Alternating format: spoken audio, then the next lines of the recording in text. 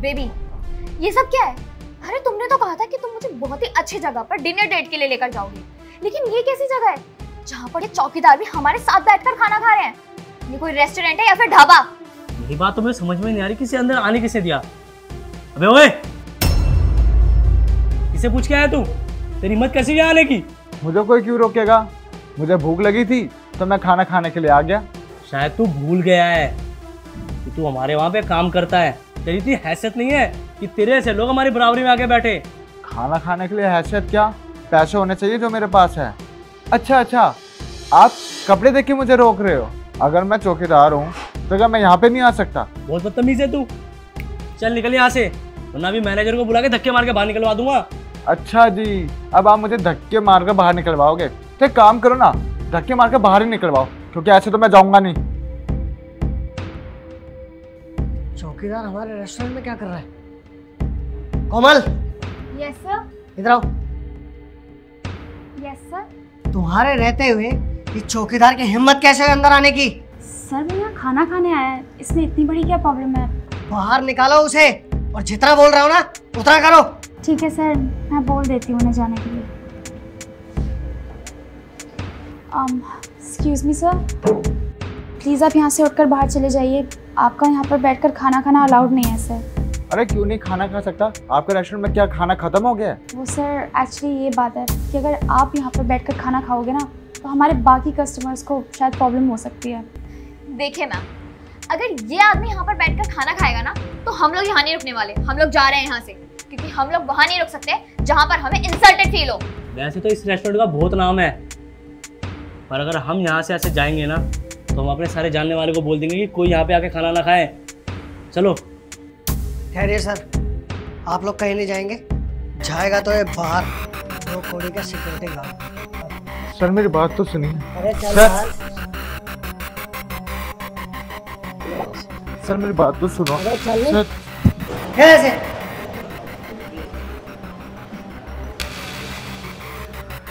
और sorry sir.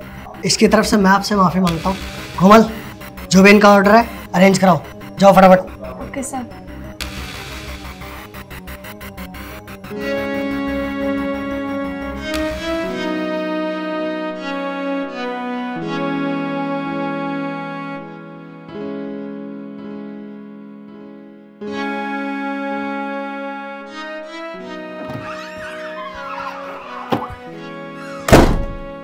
अरे सुमित आ गया तू? अरे मेरे भाई ये चौकीदार की ड्रेस क्यों पहनी हुई भाई तूने? यार भैया आप भी भूल गए। बताया था ना आपको कि मेरा प्ले था। अरे यार अब याद आया मेरे को। हाँ तेरा प्ले था। कैसा रहा तेरा प्ले प्ले तो ठीक हुआ और प्ले के बाद मैं रेस्टोरेंट गया था अपने। अच्छा रेस्टोरेंट गया था? मुझे ही बताया था मैं आज की छुट्टी नहीं लेता। दोनों भाई मिलके खाना खाते हैं वहाँ पे। अच्छा पहली बार रेस्टोरेंट गया था बता कैसा लगा वहाँ का खाना? और क्या क्या खाया? कैसा लगा? वहाँ पे एक वेटर ने और एक मैनेजर ने मेरी बेइज्जती करके भगा दिया मुझे। क्या? उन्होंने बताया नहीं कि तू मेरा छोटा भाई है।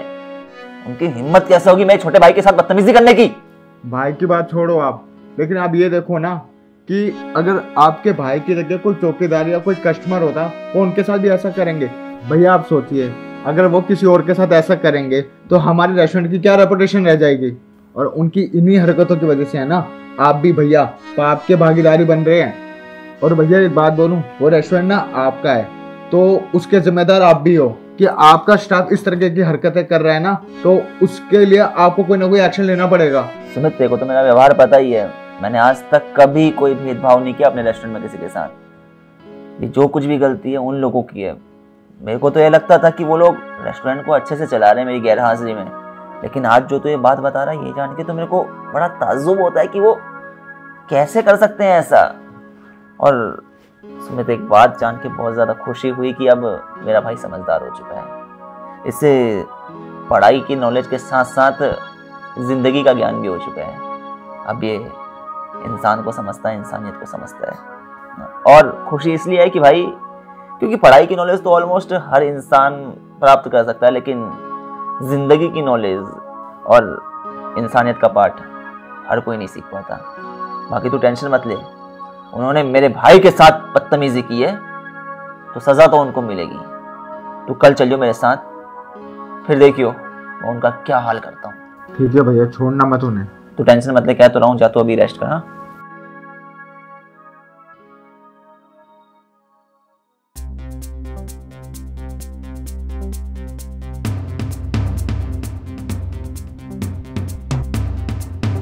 कुछ भी कहो भैया ने रेस्टोरेंट बहुत अच्छा बनाया है।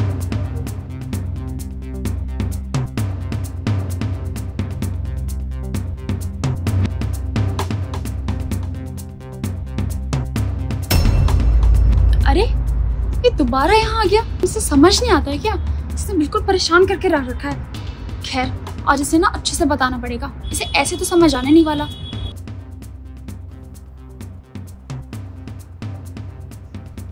तुम फिर से आ गए यहाँ पे। तुम्हें समझ नहीं आता एक बारी में। कल निकाला था ना धक्के मार के। मैडम उस दिन आपने इसलिए निकाला था क्योंकि मैंने चौकीदार की ड्रेस डाली थी। लेकिन आज देखो आज तो मैंने अच्छे कपड़े डाले हैं। अरे बेवकूफ़। बात कपड़ों की नहीं बात हैसियत की है। और हमारा रेस्टोरेंट ना बहुत ही महँगा है। तो तुम्हारी औकात नहीं है कि तुम यहाँ बैठकर खाना खा सको। समझ में आई बात? अच्छा। आप ऐसे कैसे कह सकते हैं कि मेरी कोई हैसियत नहीं है यहाँ खाना खाने की? क्योंकि मैं ना चेहरा देख कर बता देती हूँ कि किसकी औकात है और किसकी नहीं। समझ में आई? मेरी औकात का पता लगेगा ना मैडम। तो आप डर जाओगे। इसलिए चुपचाप जाकर अपना काम कीजिए समझी? तू ना बहुत बदतमीज है। तुझसे ना मैं मुँह नहीं लग सकती। अभी अपने मैनेजर को बुलाकर लेकर आती हूँ वो तुझे सबक सिखाएँगे।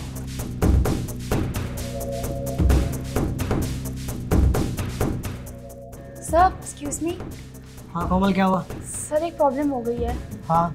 सर वो चौकीदार याद है आपको जो कल आया था? सर बोनाश दोबारा आ गया है और इस बार जाने का नाम ही नहीं ले रहा है। एक बार प्लीज़ आप आके देख लीजिए। उस दिन उसे धक्का मार के बाहर निकाला फिर भी उसे चैन नहीं आया। चलो आज उसकी टांगे तोड़ूँगा। बड़ा ढीठ है तू। कल मार खा के तुझे समझ नहीं आई या फिर दोबारा मार खाने आ गया? आया नहीं हूँ लाया गया हूँ। कौन लाया तुझे यहाँ? वो लाए हैं।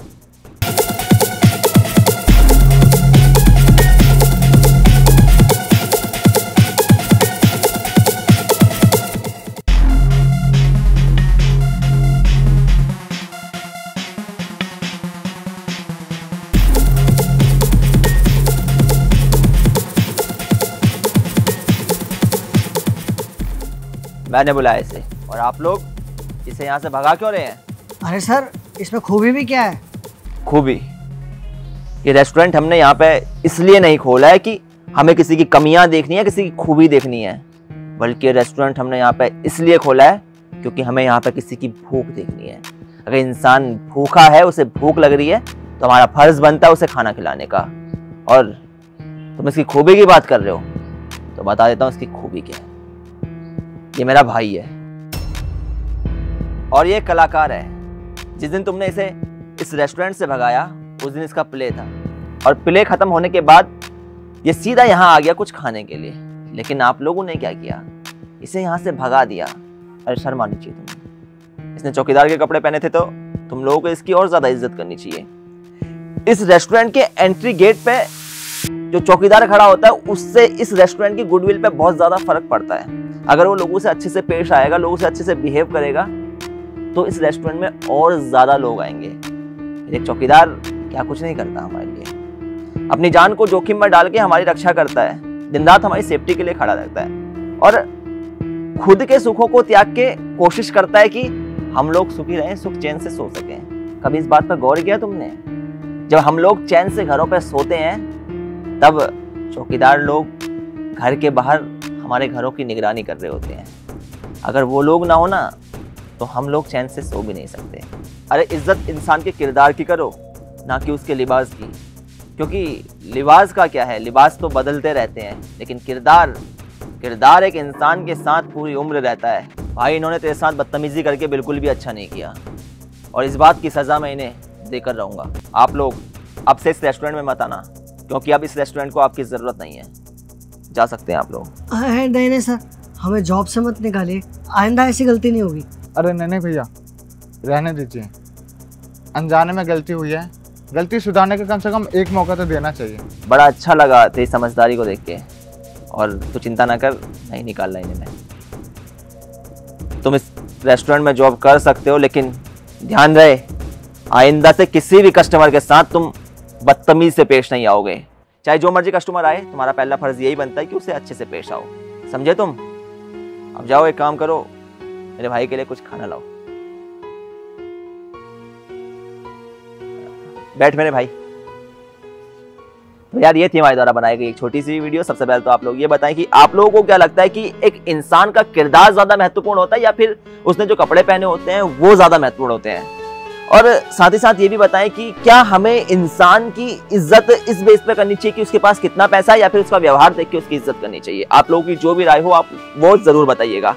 बेसिकली इस वीडियो में हमने ये चीज़ देखी, कई बार क्या होता है कि हम में से कुछ लोग ऐसे होते हैं जो अपने आसपास काम कर रहे कुछ लोगों की इज़्ज़त नहीं करते हैं क्योंकि वो उनसे अहदे में थोड़ा छोटे होते हैं, उनसे, और उनसे पैसा वो थोड़ा कम कमाते हैं, जो कि बहुत ज़्यादा गलत है।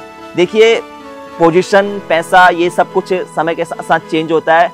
इस दुनिया में जब इंसान आता है तो खाली हाथ आता है और इस दुनिया से जब इंसान जाता है तो खाली हाथ जाता है तो जो चीज़ इंसान के पीछे रह जाती है दुनिया में और जो चीज़ इंसान अपने जीवन भर में कमाता है, वो चीज़ होती है उसका व्यवहार। तो व्यवहार में मधुरता रखें, एक दूसरे से अच्छे से पेश आए। वीडियो पसंद आई हो, वीडियो का मैसेज पसंद आया तो वीडियो को ज़्यादा से लाइक करें शेयर करें। मिलते हैं आप सभी लोग से जल्द नई वीडियो में, नई स्टोरी